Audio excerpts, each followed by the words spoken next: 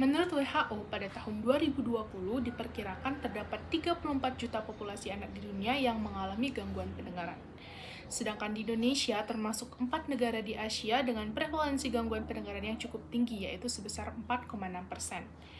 Pendengaran merupakan hal yang sangat penting untuk perkembangan dari pemerolehan dan pembelajaran bahasa. Oleh karena itu, gangguan pendengaran dapat mempengaruhi perkembangan bayi baru lahir dan menyebabkan kecacatan yang signifikan apabila tidak terdeteksi dan ditangani sejak dini. Program Universal Newborn Hearing Screening atau UNHS telah merevolusi deteksi dini gangguan pendengaran bayi dan menekankan pentingnya program Early Hearing Detection and Intervention atau EHDI. Program-program ini bertujuan untuk mendeteksi gangguan pendengaran pada bayi baru lahir, baik yang memiliki faktor resiko maupun tidak. Oleh karena itu, penulisan student project ini bertujuan untuk mengulas lebih dalam tentang gangguan pendengaran dan kaitannya dengan UNHS. Adapun beberapa rumusan masalah sebagai berikut. Yang pertama, bagaimana gejala dan faktor risiko gangguan pendengaran pada bayi baru lahir. Kedua, Bagaimana penata laksanaan serta upaya pencegahan yang tepat untuk mengatasi gangguan pendengaran pada bayi baru lahir? Ketiga, apa definisi dan urgensi dari Universal Newborn Hearing Screening? Empat, seperti apa mekanisme dari Universal Newborn Hearing Screening pada bayi yang mengalami gangguan pendengaran? Dan yang kelima, seperti apa peran teknologi dan pihak terkait dalam pelaksanaan Universal Newborn Hearing Screening? Terdapat beberapa tujuan penulisan, yakni yang pertama, untuk menganalisis gejala dan faktor risiko gangguan pendengaran pada bayi baru lahir. Kemudian yang kedua, untuk mengetahui penata laksanaan serta upaya pencegahan yang tepat untuk mengatasi gangguan pendengaran pada bayi baru lahir. Kemudian yang ketiga, untuk menjelaskan definisi dan urgensi dari Universal Newborn Hearing Screening. Keempat, untuk menjabarkan mekanisme dari Universal Newborn Hearing Screening pada bayi yang mengalami gangguan pendengaran. Dan yang kelima, untuk menyajikan informasi terkait peran teknologi dan pihak terkait dalam pelaksanaan Universal Newborn Hearing Screening. Berikut merupakan beberapa manfaat penulisan. Pertama, penulis diharapkan dapat memahami lebih dalam terkait gangguan pendengaran pada bayi baru lahir dan Universal Newborn Hearing Screening. Kedua, tulisan ini diharapkan dapat menjadi inspirasi bagi penulis lain untuk mengembangkan ide dalam melakukan penulisan kajian lain terkait urgensi Universal Newborn Hearing Screening. Dan yang ketiga, tulisan ini diharapkan dapat menjadi informasi bagi penulis dan masyarakat bahwa ada berbagai macam upaya preventif dan kuratif dalam mengatasi gangguan pendengaran pada bayi baru lahir. Baik, perkenalkan nama saya Putri Pernyanyi dengan tiga jilid terakhir yaitu dalam tujuh. Jadi di sini saya akan menyebutkan tanda dan gejala dari seseorang yang mengalami gangguan pendengaran. Di mana yang pertama adalah kurang responsif terhadap suara di sekitarnya. Yang kedua adalah ketidaksesuaian antara pertanyaan dan juga jawaban yang diberikan. Yang ketiga adalah cenderung melihat gerak bibir lawan bicara. Yang keempat adalah sulit memahami pembicaraan di tempat ramai. Yang kelima adalah intonasi bicara anak lemah atau kadang keras. Dan yang keenam adalah kemampuan berbicara dan kata-kata yang terbatas. Adapun faktor risiko dari gangguan pendengaran yaitu yang pertama, faktor genetik. Apabila orang tua bayi tersebut mengalami gangguan pendengaran, maka kemungkinan sang bayi juga akan mengalami gangguan pendengaran. Yang kedua, bayi terlahir secara prematur. Karena apabila bayi lahir secara prematur, maka sang bayi juga akan mengalami pertumbuhan pendengaran yang tidak sempurna. Kemudian ada icterus neonatorum, kadar bilirubin yang tinggi atau jaundice, konsumsi obat-obat ototoksik, dan berat badan lahir yang rendah atau BBLR. Penata laksanaan bayi dengan gangguan pendengaran yaitu yang pertama, menggunakan alat bantu dengar.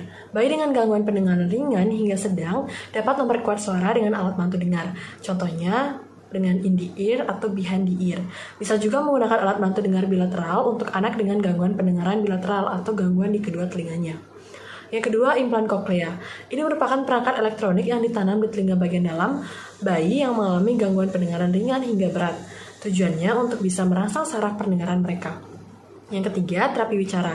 Ini adalah tindakan yang dilakukan oleh terapis bicara untuk bisa membantu orang dengan gangguan bicara untuk bisa mendengar kembali dan juga belajar bahasa dan berkomunikasi. Dan yang keempat, kolaborasi berbagai profesional seperti dokter THT, audiologis, dan juga orang tua penting untuk anak dengan gangguan pendengaran. Baik, perkenalkan nama saya Pandegiri Kevin Data Liarta dengan tiga digit yang terakhir 063. Selanjutnya adalah pencegahan terjadinya gangguan pendengaran pada newborn. Yang pertama pencegahan sebelum kelahiran. mengkonsultasikannya dengan dokter sebelum hamil, kemudian ada tes prenatal seperti USG, amniocentesis ataupun CVS, kemudian vaksinasi ibu hamil seperti vaksin campak, gondok, dan rubella atau MMR, pencegahan infeksi telinga dan saluran pernafasan bagian atas, dan menghindari minum obat ototoksik. Selanjutnya adalah pencegahan selama persalinan. Melahirkan dengan aman dan hindari trauma kelahiran dan kekurangan oksigen, pantau detak jantung janin selama persalinan, dan antibiotik profilaksis untuk mencegah infeksi ototoksik contohnya meningitis.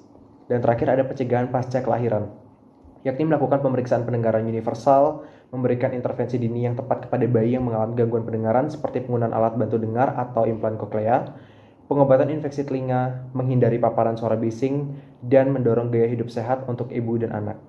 Sekian dari saya dan terima kasih.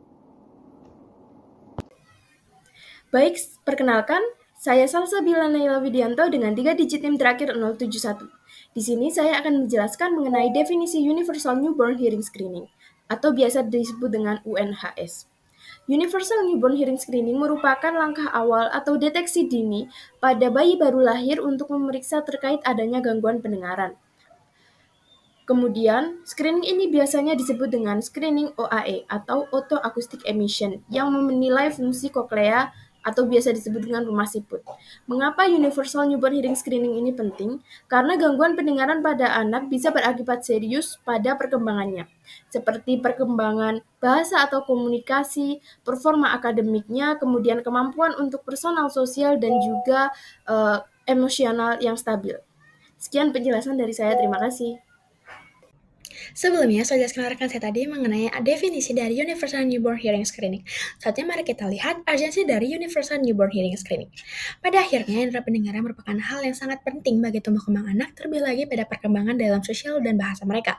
Ketika ini tidak dapat dilakukan dan si buruknya si bayi mengalami gangguan, maka di sinilah orang tua akan merasa terlambat menangani dan mengobati bayi tersebut. Yang di mana pada akhirnya ketika hal ini terjadi, itu akan bisa berakibat fatal dan banyak dari orang tua yang tidak menginginkan hal tersebut. Maka dari itu kami sudah merangkum ada lima urgensi dari newborn hearing screening. Yang pertama adalah bisa mendeteksi gangguan pendengaran dini, yang kedua perkembangan dalam bahasa dan komunikasi, yang ketiga ada kualitas hidup, yang keempat biaya pengobatan, dan yang kelima ada keselamatan dan keamanan. Baik, selanjutnya saya akan menjelaskan mengenai mekanisme Universal Newborn Hearing Screening. Namun sebelum itu, perkenalkan saya Igusti Murah Bagus Ananta Surya Diputra dengan tiga digit NIM terakhir 077. Pertama, saya akan masuk kepada prinsip 136. Satu, itu merujuk pada screening yang perlu dilakukan dalam satu bulan pertama pasca kelahiran. Lalu tiga, itu merujuk pada uji diagnostik yang perlu dilakukan apabila seluruh tahap screening itu mengalami kegagalan.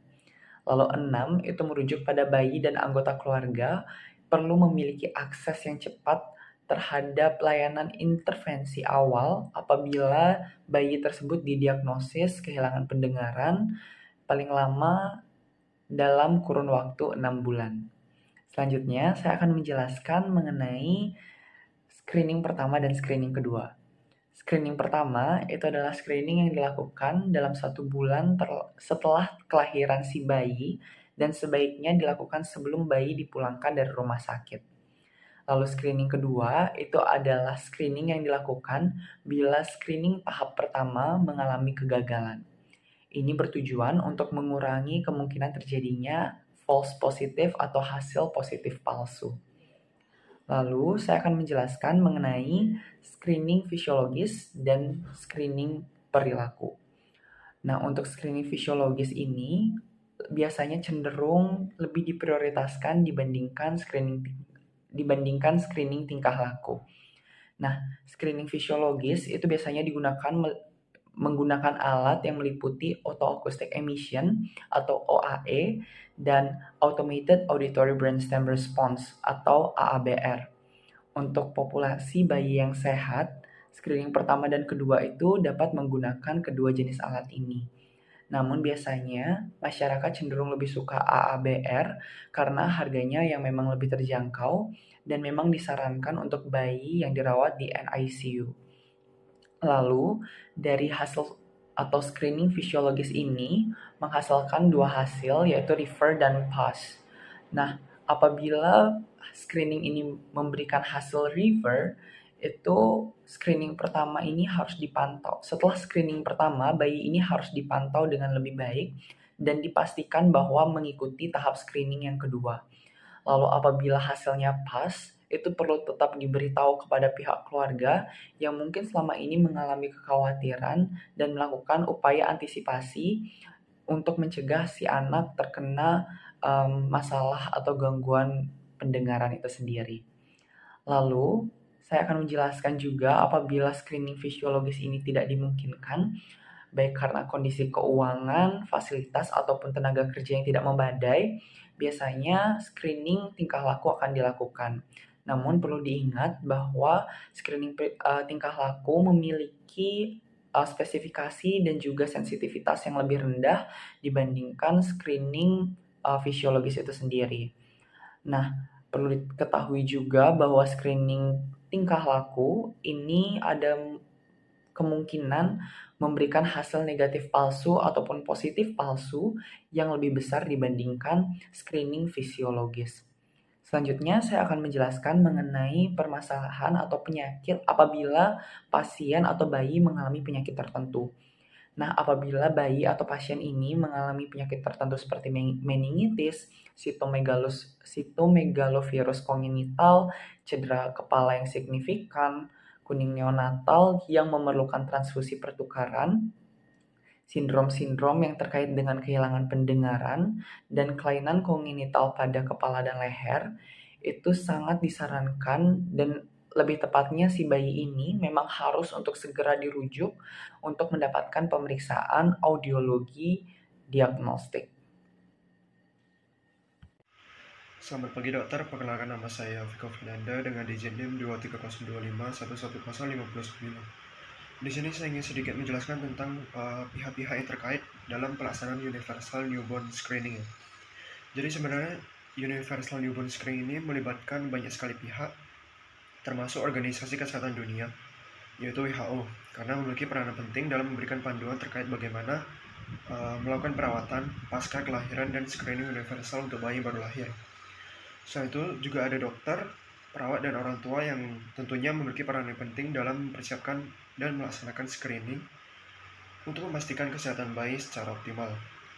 Nah, untuk peran-peran spesifik dari dokter sendiri yaitu uh, seperti memberikan perawatan klinis kepada bayi yang baru lahir, melakukan screening dengan alat yang sesuai, kemudian mengelola bayi yang memiliki hasil screening positif dan juga selalu memberikan dukungan ya dukungan kepada orang tua atau pengasuh dari pada si bayi tersebut gitu. Untuk contoh peran perawat sendiri itu yaitu memantau program screening, kemudian berkolaborasi dan tenaga kesehatan lainnya dalam memastikan kesuksesan program screening universal. Kemudian yang terakhir juga tidak kalah pentingnya yaitu peran daripada orang tua atau pengasuh bayi itu sendiri gitu. Dalam implementasi screening bayi yang baru lahir, di sini juga peran orang tua dan dokter harus saling melengkapi dikarenakan orang tua itu uh, berperan dalam persetujuan maupun partisipasi uh, dalam hal screening si bayi serta memberikan dukungan perawatan dan pemantauan berkelanjutan terhadap uh, bayi mereka gitu ya sehingga dalam konteks universal screening peran antara dokter dan orang tua itu memiliki keterkaitan, keterkaitan dan tujuan yang sama mungkin untuk lebih lengkapnya bisa dibaca di studi project yang sudah kami buat sekian dokter terima kasih Salah satu cara penting untuk mendeteksi gangguan pendengaran pada bayi yang baru lahir adalah dengan melakukan screening pendengaran universal atau UNHS. Peran teknologi dalam UNHS yang pertama ada pengembangan protokol dan panduan. Mengembangkan protokol dan panduan untuk emisi otoakustik. Otoakustik sendiri adalah suara yang dihasilkan dari koklea yang ditransmisikan ke saluran telinga luar di mana suara dapat direkam. Ada dua jenis OAE. Yang pertama ada spontan atau SOAE yang terjadi secara terus-menerus tanpa rangsangan eksternal. Yang kedua ada EOAE yang memerlukan e, rangsangan akustik sebelum diukur. Yang kedua ada sistem informasi dan manajemen. Teknologi informasi memainkan peran penting dalam pengelolaan data dan informasi terkait UNHS. Sistem informasi yang terintegrasi memungkinkan penyimpanan, pemantauan, dan analisis data secara efisien, sehingga pihak terkait dapat mendapatkan informasi yang diperlukan untuk membantu pengambilan keputusan dengan tepat dan akurat. Yang ketiga ada peralatan pengujian portable, yaitu kemajuan dalam teknologi telah memungkinkan pengembangan peralatan pengujian pendengaran yang portable dan mudah digunakan. Contoh perkembangan alat-alatnya cukup banyak. Uh, ada lima contoh yaitu seperti Screen, Audio Screen, AUDX atau AUDX Pro, Forti, dan Screen. Perkenalkan, nama saya Persyania Mana Mangule dengan NIM 2302511053. Baik, uh, dengan kesimpulan, deteksi dini sangat penting untuk mengenali gangguan pendengaran pada bayi yang baru lahir. Ada beberapa faktor resiko dan kondisi yang menyebabkan gangguan pendengaran pada bayi, sehingga sangat dibutuhkan kesadaran dan pengetahuan mengenai faktor risiko untuk membantu dalam upaya pencegahan dan intervensi yang tepat. Universal Hearing Screening atau UNHS merupakan pemeriksaan pendengaran yang wajib dilakukan bayi yang baru lahir sehingga screening atau deteksi uh, dini dari gangguan pendengaran uh, ini dapat dilakukan dengan cepat dan tepat. Penelaksana, penelaksanaan gangguan pendengaran pada bayi uh, yang baru lahir itu itu bisa mencakup pemakaian alat bantu dengar, terapi bicara, sehingga uh, opsi ke intervensi med, uh, medis seperti implant, implant, implantasi koklea. Nah, dalam pemilihan dan dalam pemilihan ini itu harus disesuaikan dengan uh, tingkat keparahannya dan juga respon individunya. Sehingga pemantauan itu dapat uh, pemantauan perkembangan perkembangan pada bayi itu dapat uh, yang menggunakan alat bantu alat bantu dengar itu perlu dilakukan secara berkala selama 2 tahun 2 tahun pertama untuk memastikan efektivitasnya. Dan pencegahan gangguan pada bayi merupakan langkah yang sangat penting yang dapat dilakukan sejak sebelum kelahiran. Nah, selama proses persalinan yang sangat penting yang dapat dilakukan itu sebelum sebelum kelahiran, selama proses perselainan dan juga pasca kelahiran. Nah, screening pendengaran pada bayi baru lahir melalui UNHS memberikan kesempatan untuk mendeteksi uh, gangguan pendengaran sedini mungkin sehingga orang tua dapat melakukan langkah-langkah pencegahan, intervensi dan yang tepat untuk memastikan perkembangan yang optimal pada bayi. Implementasi UNHS yang efektif memerlukan kerja sama antara berbagai pihak, termasuk tenaga medis, pemerintah, masyarakat, dan secara keseluruhannya. Dan hanya dengan upaya bersama yang bisa terkoordinasi. Dan dari deteksi dini ini, gangguan pendengaran pada bayi yang baru lahir dapat diwujudkan. Uh, dan sehingga memberikan mereka kesempatan yang lebih baik untuk mengembangkan potensi mereka secara optimal dan dalam bahasa, komunikasi dan juga uh, dalam kehidupan mereka secara berkeseluruhan. Terima kasih. Sebelumnya perkenalkan, nama saya Skarnari Suarwijaya dengan tiga digit NIM terakhir 057. Di sini saya akan menyampaikan saran yang dapat menulis berikan untuk meningkatkan efektivitas dari UNHS atau Universal Newborn Hearing Screening, yakni dengan memperluas jangkauan screening ke daerah perdesaan ataupun daerah terpencil serta e, menyeluruh ke seluruh kelompok demografi. Guna meningkatkan pemahaman akan pentingnya UNHS, kerjasama yang lebih erat antar institusi kesehatan seperti puskesmas dan rumah sakit. Selain itu, juga penting untuk mengedukasi para orang tua sehingga mereka memiliki kesadaran untuk membawa anak mereka yang e, ketika baru lahir ini untuk dilakukan screening. Ini dapat meningkatkan e, efektivitas dari UNHS. Terima kasih.